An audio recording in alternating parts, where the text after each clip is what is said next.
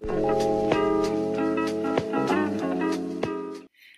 Claire Akin with the Fiddle Leaf Fig Plant Resource Center, and today I want to walk you through our Fiddle Leaf Fig Care Calendar.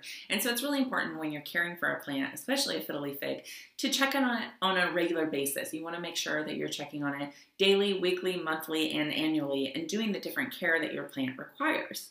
And so we have a free Fiddle Leaf Fig Care Calendar on our site that I will link below, and you can download and get all of the information that you need. But first, I just want to walk you through what I recommend. So on a daily basis, it is something that you just want to walk by your plant, take a look at it, and notice for any subtle changes. So most importantly, you want to look out for any insect damage or brown spots because root rot can really kill your plant in a hurry. And the first sign of root rot is brown spots or dropping leaves. And so if you see any dropping leaves, check them, make sure they don't have any brown spots, and just look over your plant, make sure it looks okay on a daily basis.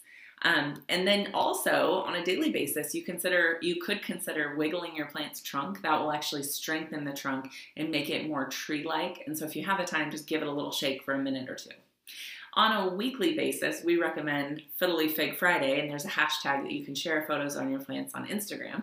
You want to make sure that you do the general inspection for brown spots, dropping leaves, insects, and you also, I recommend rotating your whole plant about one quarter turn so that it gets even growth because as your plant gets sunlight from one direction, it can really start to lean and then give you kind of an off kilter uh, plant. And so if you rotate the whole pot one quarter turn every Friday, it'll give you a very even uh, growth throughout the plant you should use a soil meter, and we make a soil meter specifically for fiddle leaf figs.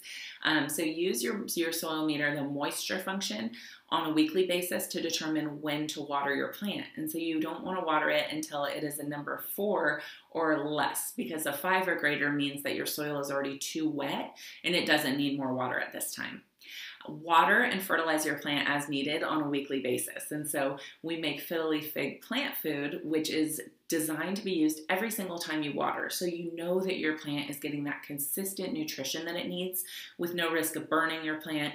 And it's you don't have to remember when the last time you fertilized was because you just use it every single time you water.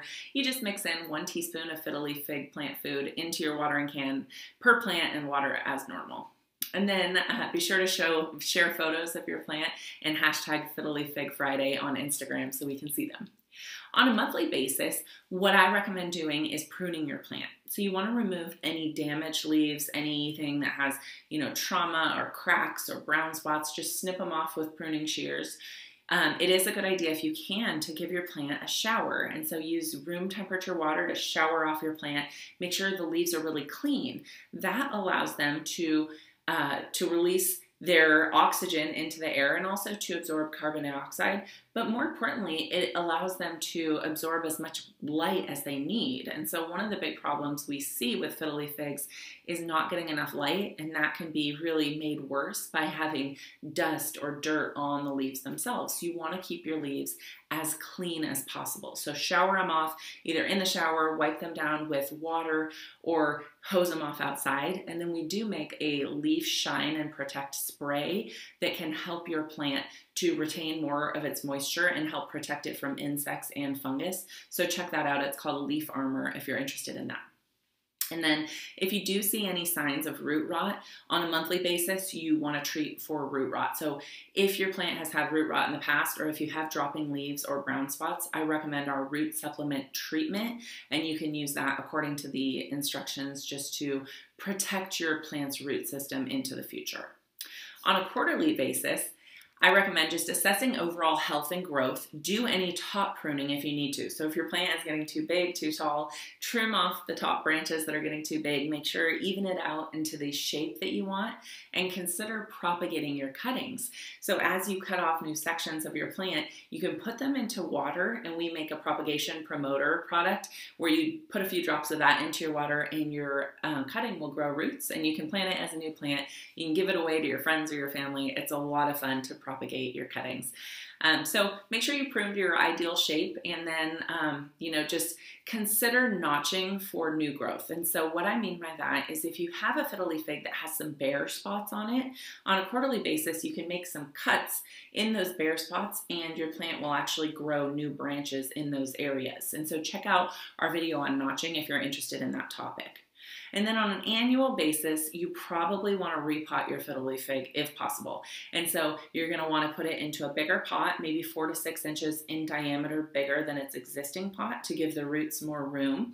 Use new soil. We make a fiddle leaf fig soil that is perfectly uh, formulated to drain really quickly and to provide the nutrients and the conditions that your fiddle leaf fig will love. So repot into a larger container if you want your fiddle leaf fig to grow larger. If your fiddle leaf fig is already too big and you're trying to stop the new growth, you can top dress it, which means just adding some soil to the top of the container to give it some more nutrients and moisture retention. Um, but you don't want to repot a large plant if you don't want it to grow any bigger. And so, um, also on an annual basis, I recommend just thinking about if you want to update the look and feel of your container itself. So, the pot or the decorative container, whether it's in a basket or um, some, some other container, I like to update the look and feel of each plant uh, at least once a year and just give it kind of a fresh look.